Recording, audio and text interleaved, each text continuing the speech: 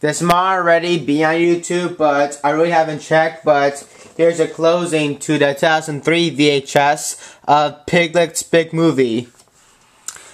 I just finished watching this film, and it's a pretty good film, but here's a closing to the tape.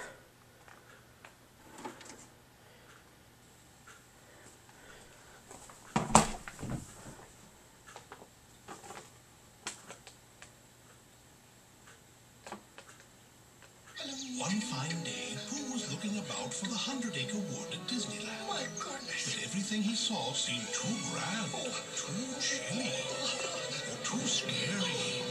Until a young boy Pooh. Oh, helped him find home sweet home, filled with blustery winds, floody places, and heffalumps and woozles. Come ride the many adventures of Winnie the Pooh. Nice place, Pooh. Oh, I like it. New at the Disneyland